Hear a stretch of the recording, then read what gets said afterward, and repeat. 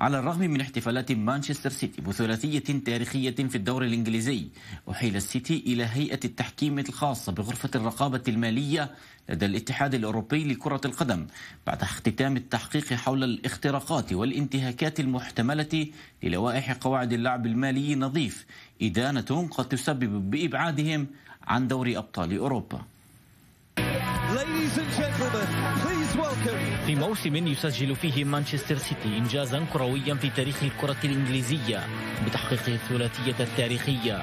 ينتظر الاتحاد الأوروبي انتهاء احتفالات السيتي ليدخل غرفة التحقيقات التابعة للويفا بعد كسره قواعد اللعب النظيف. فمنذ دخول المستثمرين وأصحاب الشركات الكبرى الأسواق الرياضية في أوروبا وتحديدا كرة القدم استثمار أثار المخاوف آنذاك لدى متخذي القرار في الويفا. حول مستقبل الفرق. الخسائر المادية أدت إلى تدهور الأوضاع في بعض الأندية الأوروبية رفع الأجور وقيمة العقود وإسراف للمال في نقطة لم تتساوى فيها الأرباح والخسائر. فكما وصفها الرئيس السابق للاتحاد الأوروبي لكرة القدم ميشيل بلاتيني 50% من الأندية يخسرون الأموال والعملية في تزايد. نحن مطالبون بالوقوف أمام هذا التدهور. لقد أنفقوا الكثير من المال أكثر مما جنوه في الماضي وبعضهم لم يستطع دفع ديونه. نحن لا نريد إيذاء أندية كرة القدم. على العكس تماما نحن نريد مساعدتهم. الفرق التي تشارك في بطولات الاتحاد الأوروبي وافقت بالإجماع على القرار أن تعيش على مواردك الخاصة كان سائدا في السابق لكنه لم يعد أساس كرة القدم في أيامنا هذه. وفي عام 2009 تقدمت الويفا بمشروع قانون للحفاظ على النزاهة المالية يهدف إلى تحقيق مبدأ اللعب النظيف داخل الملعب وخارجه وتحقيق العدل والمساواة في عالم كرة القدم. وللحديث عن هذا الموضوع ينضم إلي هنا في الاستوديو الصحفي وأيضا خبير في الشؤون المالية فراس عبد القادر. أهلا ومرحبا بك. نعم. وأيضا خبير في الشؤون الرياضية والصحفي جودة عودي أهلا ومرحبا بك. أهلا بداية يعني نتحدث عن قواعد اللعب المالي النظيف. اشرح لنا ولو بقليل عن قواعد هذا آه هذا هذا النظام طبعا في أوروبا. okay. أول شيء إيه، موضوع ال fair play. اللعب النظيف دخل على طريق رئيس الفيفا آنذاك ب 2010 إيه، ميشيل باتيني اللي بيقول إنه كل فريق ملزم إنه رئيس الويفا طبعا. رئيس الويفا. كل فريق إيه، ملزم انه يشتري لاعبين من موارده الخاصة. شو معناها؟ يعني إذا فريق بده يشتري لاعب فمعاه ثلاث سنين علشان يسد ثمنه من الدخل اللي عنده. يعني تحدث هو أيضا عن التواريخ التي بدأت بداية في عام 2009-2010 بعد هبوط العديد من الأندية وتحديدا في الدوري الإنجليزي نتحدث عن ليدز والعديد من الفرق الأخرى بالإضافة إلى ذلك فريق لاتسيو الذي عانى من صعوبات وأيضا آه، من أزمات مالية حددت الويفا عفوا الويفا حددت برنامج دعنا نقول مالي من أجل الحفاظ على كرة القدم.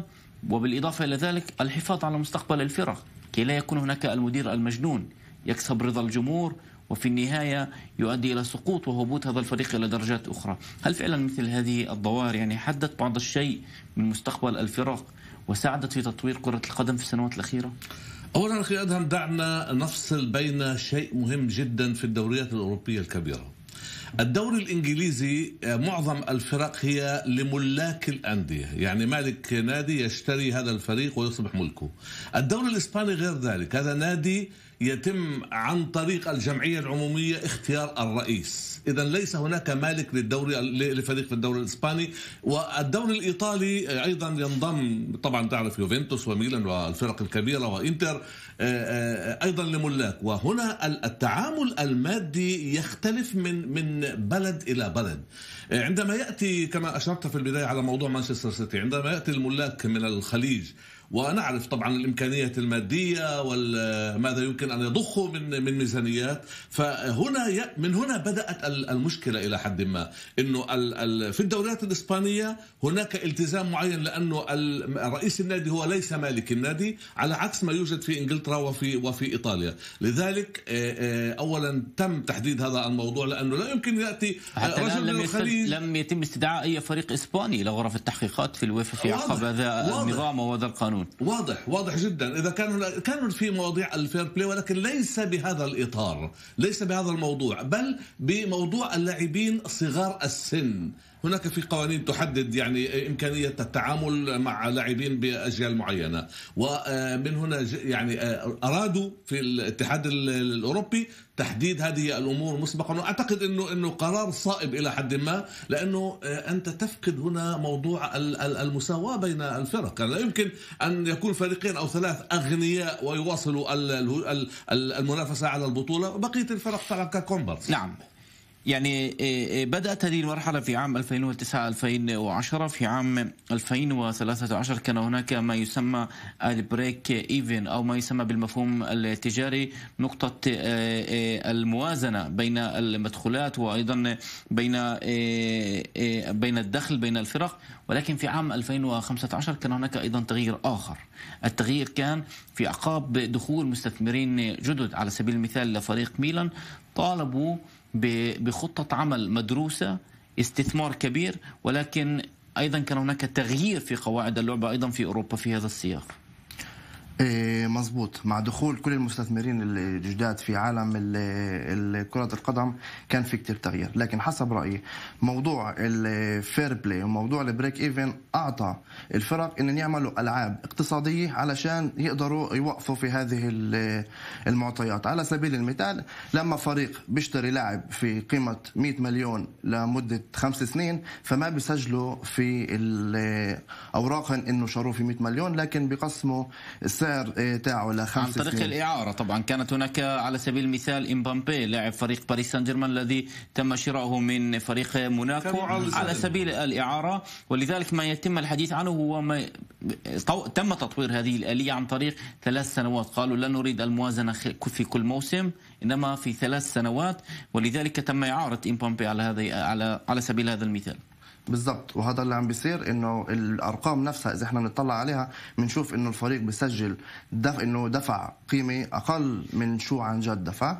وهذا الإشي صار مع نيمار بالذات لما انتقل على باريس سان جيرمان وكان لازم يدفعوا باريس يدفعوا مبلغ اللي هو كتير عالي اللي ما بتنسق مع هذا مع هذا القانون. اللي صار في هاي الحالة إنه في مؤسسة اسمها QSI Qatar Sport Investment اللي هن أعطوا نيمار المصاري على أساس إنه هو يكون السفير تاعهم في كأس العالم 2022 علشان يدفع الشرط الجزائي تاعه. وهيك باريس كأنه نعم. ما دفعوا شيء باريس هو إحدى الفرق التي عانت وأيضا دائما ما تواجه مثل هذه المشاكل ويتم استدعائها إلى غرف التحقيقات مانشستر سيتي طبعا هناك شركة الإمارات الراعية لهذا الفريق وبالإضافة إلى العديد من الفرق التي على سبيل المثال تشيلسي وأيضا فرق أخرى. ولكن هناك نقطه جدا هامة.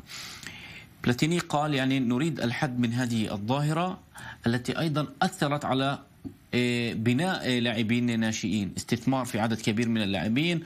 ضرب دعنا نقول بعض الشيء اللاعبين الناشئين وهذا بعكس ما حدث على سبيل المثال في أياكس الذي اعتمد على لاعبين ناشئين. أياكس يعتمد هذه الخطة أخي أدهم من سنوات طويلة هو مدرسه آياكس يعتبر نفسه مدرسة لتفريخ اللاعبين. يعني في كثير من الأحيان لا يهمه أن يفوز ببطولة. يصنع اللاعبين خلال فترة معينة يتم بيعهم يستثمر يأخذ الأموال ويبدأ من جديد. وهذا ما يحصل الآن مع الفريق الذي وصل إلى مراحل متقدمه في الدوري في دوري أبطال أوروبا. أعتقد إنه أنا شخصيا لو سألتني كل هذا الموضوع في نوع من التحايل. يعني أنت أيضا هنا تعطي الإمكانية للفرق الكبيرة أن تفترس الفرق الصغيرة. ما حدث كما قال فراس مع نيمار؟